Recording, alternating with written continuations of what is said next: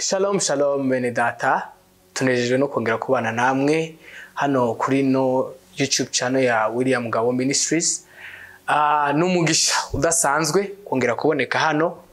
By'umwihariko uh, uno munsi dufite insanganyamatsiko idasanzwe.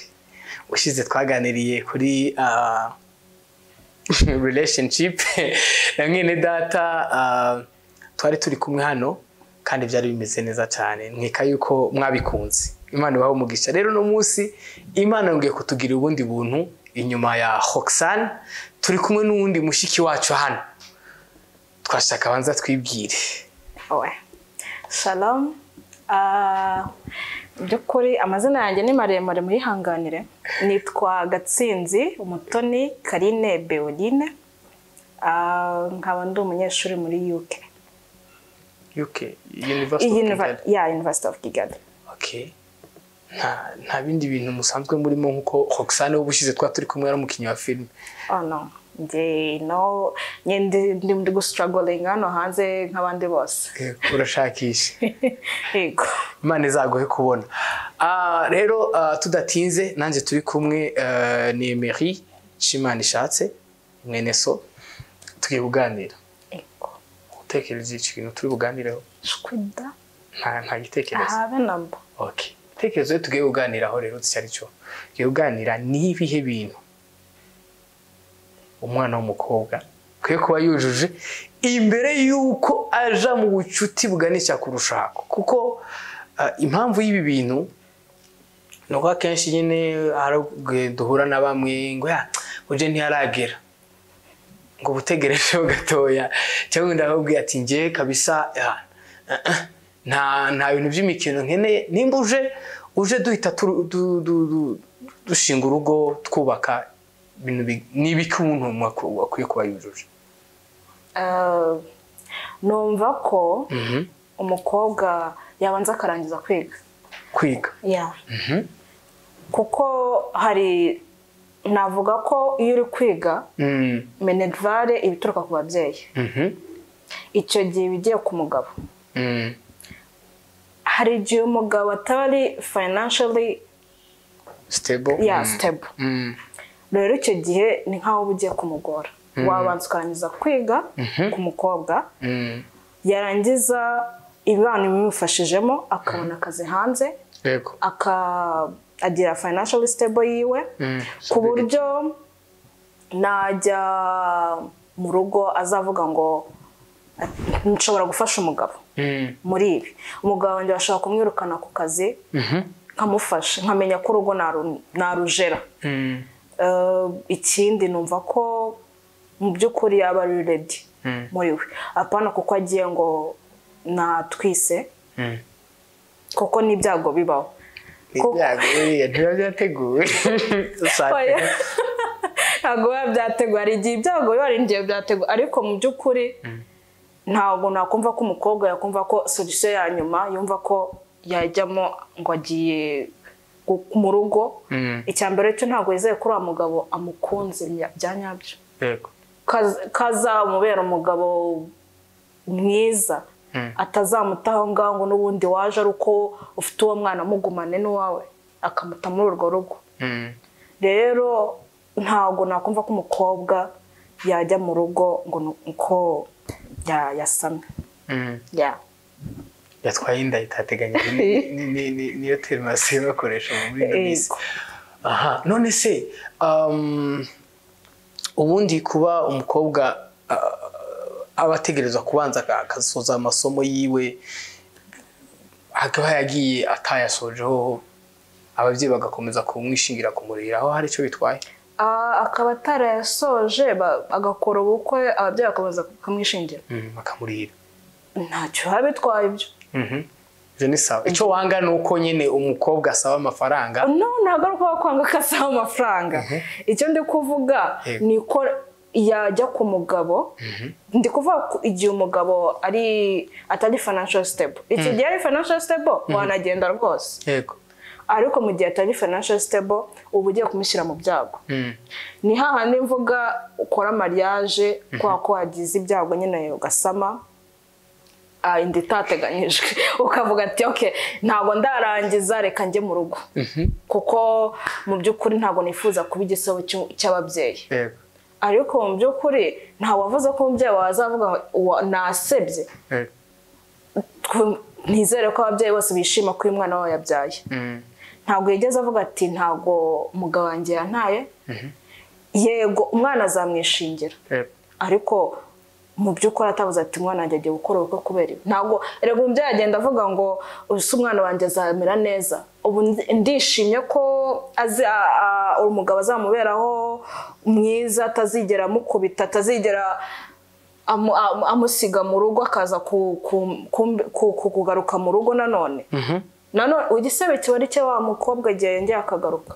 Eh, okay. None se ubundi ibintu by'uburyo nka wowe ku bwawe ubu ni uri kuriga ubu urasoza amakuru wenda ayafite ubu nusoza fate hashyise haza umuntu umuntu arababwira ati ikindi tayari yiyubatse financially ameze neza financially stable kabisa afite ni afite n'imodoka afite imodoka n'inzu afite ibintu kabisa afite ibintu kameme ari tayari ntiwakwemera se mugahita mwikomereza?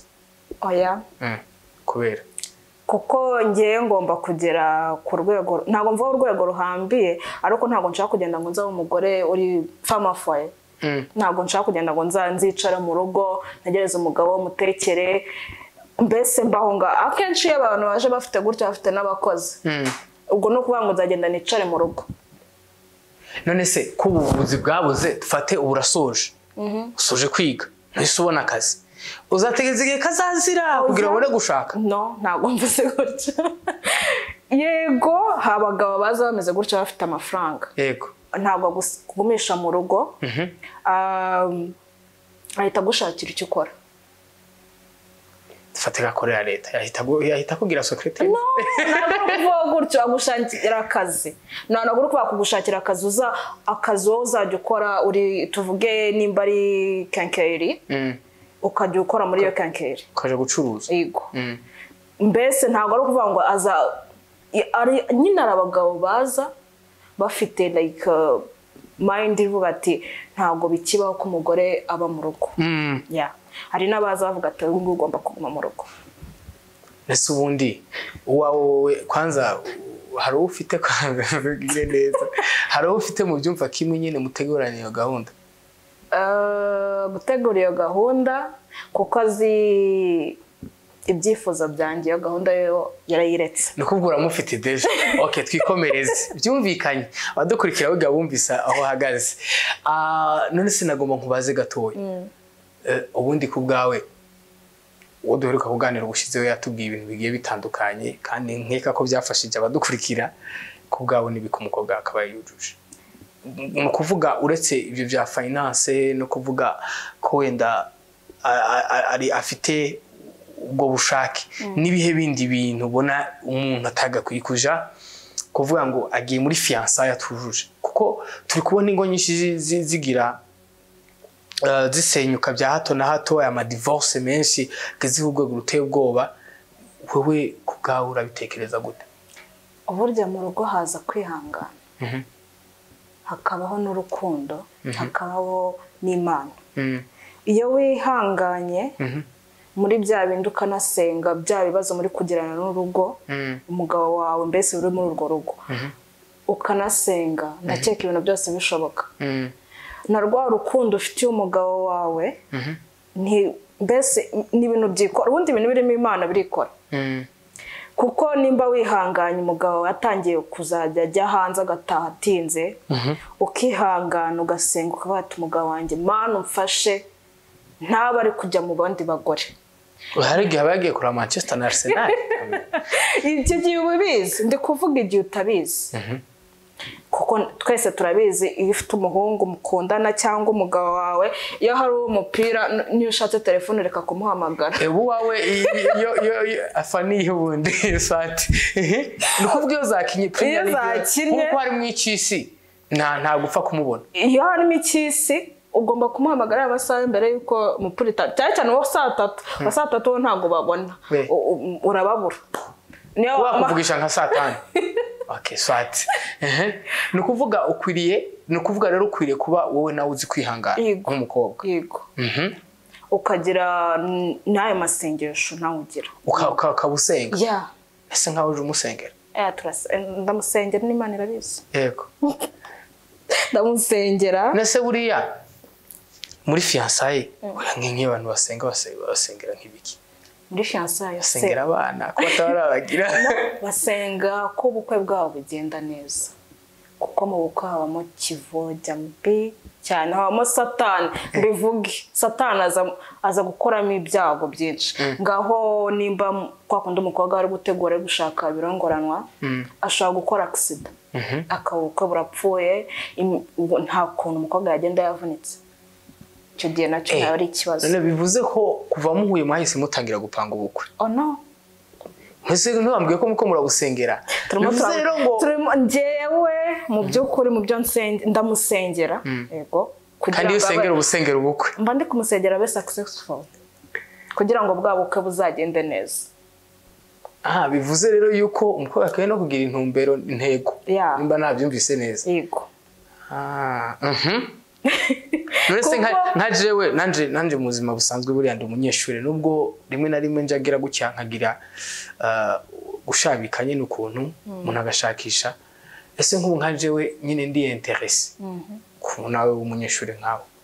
Urabiha nk'imyaka ingana abantu bashobora gukundana nyine bari ku ntebe y'ishuri muri kaminuza icyo gihe wumva ari ari nk'ibihe bakwiye kubaka hagati yabo ku buryo ibyo byamara kugeraho nyine akavuga ati kabisa tugende tubibwire ababyeyi badushyigikire ubundi umushinga tuwusoze. Eh, muri icyo gihe bo bagomba kurangiza kwiga.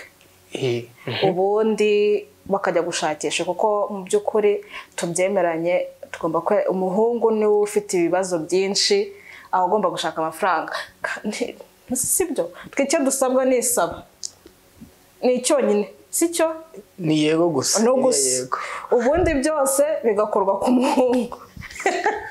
ni ukuvuga ngo mu by'ukuri umuhungu naza gufata irembo hari amafaranga azaba ari ku ruhande. Najya muri muri reception.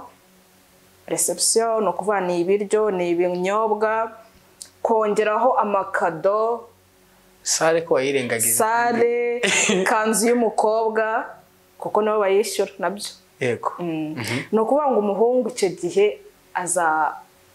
azakora cyane. Mm, kandi nimba umukobwa nawe amukunda azamutegereza. Mm. agere kuri ya ntego. Kwa kwihangana. Ya kwa kwihangana. Agere kuri ya ntego avuga ati njye ndaje. Niyo muri icyo gihe mukiri mukiri gukundana navuga ya wamwerekana iwanyu. Nta kibazo rwose. Waba bazajya bavuga ati mfite umukwe. Nza mfite umukwe ngenda mufite arahari kandi umukobwa wanjye azagenda. Na cya gihe umubyeyi w'umukobwa azatangira asenga ati ufashe umukwe wanjye. Agere ku byo agomba kugera umukobwa wanjye bazabane neza. Nase ukiri ngaho nyine uwo muhungu ariko arashakisha. N'uwo mukobwa agishakisha. Umva bose bariko barashakisha. Ubu si rimwe na rimwe ntabwo ari byo bi- bihora bivamo eh, impanuka. Zo kugongana bya hato na hato bigatuma abantu nyine havuka inda zitateganyijwe. Kubera iki? Kubera bose barategereje. Kandi hari n'igihe n'umuhungu aba ariko arashakisha ariko akavuga ati rero ndabona uburyo butazankundira abafite uburyo bakamuntwara agahita avuga ati rero mu buryo bwo kubukinga. Reka ngire uko mbigenza. Ntabwo utekereza ko ibyo bishobora kubagusha mu mutego nk'uwo? Byashoboka. Yego byashoboka. Ariko ntabwo bivuze ko nyine icyo gihe ni hahandi umukobwa yagenda niba avuga ati kangende Mm, ariko kuko abizi ko amukunda kandi azi ko umuhungu amukunda. Mm. ariko muri hahandi mu gihe uri kuvuga ati ntabwo ankunda ntabwo mbyizeye neza ko ankunda mu by'ukuri kandi yanteye inda Mm. mukobwa uri ahangaha uri kunyumva mbabarira. Ntuzagende kuko ntabwo uzi ibizaba pe iyo risike ntuzayifate. Hari risike nyinshi umukobwa agomba gufata ariko iyo ngiyo ntuzayifate. Ntabwo ushaka kugaruka iwanyu ufite ijisho ritukuye bakubise. Cyangwa uri kuvuga ati nabuze icyo mpa umwana wanjye arye. Mhm. Iyo risike uzayihorere. Ibyiza yaguma mu rugo. Yaguma mu rugo. Mu gihe atari shuwa azagume mu rugo. Yego hari igihe muri icyo gihe ya- yamwereka ko ari seriye akagenda. Mm. Ariko uzagumane mu mutwe ati umwana wanjye nageze- nageze igihe ko no muri igihe utarageza mu mezi atandatu ndakeka ariyo ba- bajya- aba- abagore benshi bajya muri maternite ah, maternite konje maternite. Mm. Ah, ndakeka ariho wavuga ati kananye mba nshaka akazi mba nshaka amafaranga. Um- ntabwo umuhungu yajya gushaka amafaranga wenyine. Mwawe kameme ni uwanyu mwese uwo mwana. Mugomba kumwitaho. Rero ibintu by'uburyo na byo bisigaye ari hatari. Ni byiza nyine yuko ifaranga ziboneka eh, ariko si eh, wako- twakomeje kubigarukaho cyane. Sinzi ko ari wowe wabyibanzeho cyangwa ari jye na- byahura n'ibibazo nakubajije ariko se ku bwawe. Urumva uzashaka nko mu myaka ingahe iri imbere? Mbwiye Itanu. kungana gute. Itanu iri imbere? Mm. Mhm, kubera ko imyaka itanu. Ah, ewe umbajije ngo nzakora ubukwe ryarenze ko nagusubiza demiri tarante kuko ni ibintu mfite nkiri sinzi primaire cyangwa kubera ko wasetinze iyo myaka yose? Ntabwo mbizi. Ni ibintu bambajije iwacu nk'aho umukobwa nyine bari kuganira n'iwabo tuzakora ubukwe ryari wowe? Nose ubu umuntu wawe natabyihanganira nuko atazaba ari uwanjye azaje nyagasamburira. Nuko atazaba ari uwanjye nyabuneka mutatwumva nabi. Azabategereza. Ngo mu rukundo nta kidashoboka umugani wabo. Eh, kwihangana. Kwihangana. Na- n'ijambo ry'imana rirabivuga rero tuko tugana ku musozo. Ngomba nkubaze. Iyo uri kurareba urwego ingo zigenda zisenyuka amadivorce ya hato na hato rimwe na rimwe hari amwe ababireba tukiri bato nka gutya ah, tugakuramo isomo twabati ah, na- n'ubundi n'abandi byaranze. Ubwo natwe bifite amahirwe menshi yo kwanga. Ugasanga ba- bacitse intege. Wowe iyo ubireba n'ayihe masomo ukuramo? Ah, icyo mbere y'abandebaho ko mu by'ukuri ya kwa kwihangana navuze ntako bagira Mm. ariko mu by'ukuri ntabwo nifuza ko mu by'ukuri uru rwanda rwaba ari u rwanda ruvuga ngo dukora ubukwe tugiye gukora divorce. Kuko hari ubukora avuga ati yewe simbizi menye ejo bundi nzakora divorce. Cyangwa akamara amezi arindwi ugakora divorce. Ariko mu by'ukuri wowe ubwawe muri aya mezi arindwi mumaranye ni iki mu myaka itatu? Mm. mwari mumaranye. Mhm. utabonye ku buryo ujya gukora divorce. Mm. kuki utihanga kuki wihanganye iyo myaka itatu. Mu mezi arindwi mumaze gushakana utihanganiye mwabanje mukaganira mukavugana mukumva aho byapfiriye mukanabikemura. Mhm. nanone aho bipfira aha ngaha ni hahandi umuntu mumarana amezi atatu ukajya mu rugo. Mu rugo gukora iki? Gusura se? Haye ukajya mu rugo ukajya gushaka. Eh, gushaka umugabo na ntaha ntabwo umuzi mumaranye amezi atatu mumaranye ane cyangwa atanu. Ese ko ubwawe mwagakwiye kumarana igihe kingana gute? Umwaka muba muziranye Oxana yatubwiye ko atandatu gusa yonyine. Noneho mwaba mu- musenga imana muri abanyamwuka. Ati, iriya minsi itatu yesu yamaze mu ntuze irahagije rwose. Nase uwo uraduvuga njyewe njye nemera umwaka. Mhm. kuko hari ibyo aba yaraguhishe muri uwo mwaka muri mu- mu- muri uwo mwaka hari ibyo uba umaze kumenya yagiye aguhisha kuko njye nezera ko mu mezi atandatu ahubwo uba mukiri muri sheri ndagukunda. Umeze ute wariye muba mukiri mu tuntu tukiri simple. Mm. andi amezi atandatu rero rero yatangiye kuba serious. Ya. Umwaka umuzi ariko ningera muri relationship ubanza nanjye nzaba mbisobanukiwe. Urumva ukuntu eh? Ariko ubanza ari kubera twegeranye nawe uyirimwo. Burya hari ukuntu nyine twebwe abizera imana twizera ko amavuta nyine hari ukuntu ava ku muntu akura. Akuza gukorera amavuta yawe. Okay none se ah, dusoza rero. Nk'ubu mfite igitabo hano? Ni cya william ngabo. Hano cyitwa the season of betrayal. Abantu benshi barahemukiwe. Kandi mu rukundo bashizuze batuganiriza ubushize ku bintu bijyanye na crash ubundi crash iyo ibaye ni iridinga kuri brokenness. Nk'umuntu yahemukiwe. Mu rukundo by'umwihariko. Akazinukwa kabisa akavuga ati ah ibintu ah binteye asiki nihe nama wamubwira? Ni gute yabyifatamo mbese aracyafite amahirwe nawe yo gukundwa kandi agakunda kandi agakundwa akazwa? Cyane. cyangwa yaba ari umukobwa cyangwa ari umuhungu nawe urwo rukundo rukamuryohera. Icyo gihe ajye yizera ko uwo nguwo wamuhemukiye ntabwo yari ububi ntabwo bari bari like na, na bajya bavuga ngo soulmates. Yeah, ntabwo yari soulmate yewe ntamureke nareke like uh, the anger afitemo muri we Mm. nayireke. Kuko nayigumana no kuvuga ngo azaba agumanye wa ya pati yura mu umutipe cyangwa umukobwa wamuhemukiye. Azaba ayigumanye muri nayirekure kuko nawe azaba amuretse. Ah- ahumeke haza undi uzamukunda uzamushyira imbere uzamugira queen wiwe. Rero na namureke. Yaramu- yaramubabaje ariko nawe yahombye umuntu. Akabazo ka nyuma k'akanyuma. Okay.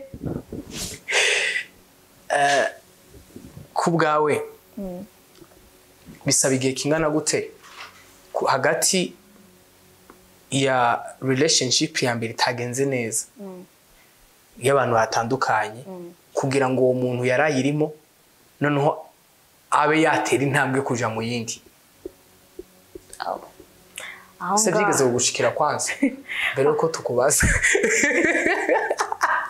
Okay sawa. Uri kujya muri pasono nta kibazo. Njye ntago navuga ngo bisaba igihe Mhm. hari igihe wa muntu wakubabaje aba ari aho ngaho atazi ko urundi uri inyuma uri gusaba imana ati mbabarira uriya muhungu amureke Mhm. mu gihe wa wundi azaza agatangira kukwereka rwa rukundo agufitiye Mm. ndakubwiza ukuri no mu mezi abiri wagenda wakunda undi kuko wawe ntugahita umwibagirwa ukamwibagirwa kuko wa wundi yamukwibagije wundi yamuku bajya bavuga ngo ni rebound ariko ntabwo ari nari igihe aba ari byo ariko mu by'ukuri umuntu wakweretse urukundo akakwereka ibyo wa wundi atakweretse ugatangira nawe kugira feelings ntabwo wamukunda icyo gihe ugatangira kugira feelings niko navuga. Mm. icyo gihe uraba wati oke wenda waba wati ndi ready yo kujya muri relationship. Urakibaza cya kibazo nawe uravuga ati ese ndi ready? ndi ngiyemo neza nzi ko ntari like ntazaba heartbroken Mm. oya urabyibaza uvuga ati ni ko mbibona kuri uriya tipe uri hariya arankunda yirirwa anshaka buri gihe ninjye wamwihoreye tumaze hafi amezi atatu ambwira ko ankunda naramwihoreye ariko nanone kukubabaza undi nawe ari Eh, hirya ari kukwirukanka inyuma. Icyo gihe ntabwo uzavuga ati ndamuretse. Ntabwo uzamu kuko n'umuto ntabwo uzi uwo azabona nyuma yawe kandi bigacamo neza ugasigara wicuza. Mm. kunda ugukunda? Kuko ukunda agukunda. Kuko ukunda akunda abandi? Ah, byose ni kimwe. Ubwo uko wabaje nawe agiye ahandi the way bajya bavuga mu kinyarwanda ngo nyagasambi irarema ngo wasanga ari uko biba bimeze. Rero ndagushimiye cyane. Abari badukurikira rero turabashimiye cyane ariko ah, ikintu cyo gihari ni uko ah, icyo umaze kumenya kubaka urugo ni inshingano. Ntabwo ari amarangamutima. Ntabwo ari ukuvuga ngo n'umunsi wamukunze kuko asa neza ese mama ejo nabyara bigahinduka kuba mukunze kubera wenda ah, yari afite tayi runaka hamwe no gutwita akaba malforme cyangwa akaba deforme pardon akaba deforme byagenda bite ariko ushobora no kuba malforme akagira impanuka kandi wasezeranye kumukunda mu byiza no mu bibi. Rero um, dukwiye kwitonda tugashaka imana kubera uh, imana niyo iyomora hey, imana iromora ibikomere kandi kabisa igashumbusha neza. Dufite ingero nyinshi muri bibiliya. Rero uh, iki gitabo cya seasons betrayal ndakibararikiye bene data mu- muzagishake mugisome kabisa. Uh, abagikeneye mushobora kwandika muri commentaire pastor akazabibagezaho ari nawe uh, nyine uno murimo tuko turakoreramo ino channel. Imana ibaho umugisha. Rero sinasoza ntababwiye kino. Ah, urugo ni imana yarutangije. Kubera ari imana yarutangije rero imana irifuza ko abantu bose yahamagariye gushaka bayishaka kandi bakayishakana umwete. Kubera urugo rwa mbere rwahereye muri edeni imana niyo yabonye ko adamu akeneye umuntu. Avuga ngo ntibikwiye yuko aba wenyine. Imuremera eva.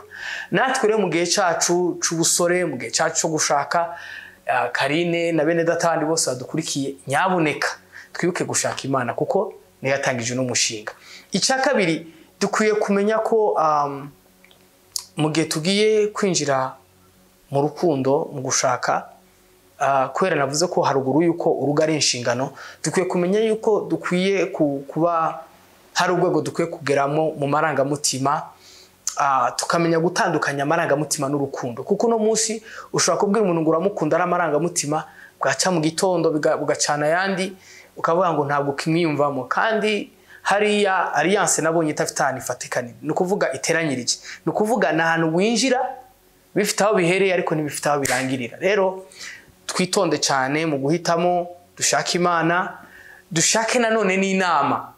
Eh, ngo ibigiye imana bigira inama. Tugishake inama z'abadukuriye ba- ba- ba- ba- bafite inararibonye ba- bafite ukuntu baturusha mu bintu bigiye bitandukanye kugira ngo urugendo ruzaduhire. Imana ibaho umugisha kandi akanyuma k'akanyuma. Nabuze utwanyuma twinshi. Ah, nifuza yuko um, twazajya dufata akanya nanone tukanaganira. Kuko hari igihe usanga um, rimwe na rimwe ibi bintu twanga kubivugaho ariko tukazifuza kubivugaho noneho bisigaye bisa nabi. Bisigaye ari ubuhamya bubabaje ngo yarantaye nari nzi ko ari igitangaza diyene sanga siko bimeze. Tujye tugerageza tubiganire tugire inshuti. Ariko hejuru yo kugira inshuti tugire n'umukunzi. Nitumara no kugira umukunzi tumuhe imana. Nitumuha imana nimwemera ikamwemeza n'ibizatubaho ni ukuvuga n'ibitagenda neza. Izaduserukaho nibigenda neza nanone tuzakomeza kubana na yo kuko imana uwo ni umufasha utabura guseruka mu byago no mu makuba imana ibaho umugisha cyane turabakunda. Shalom.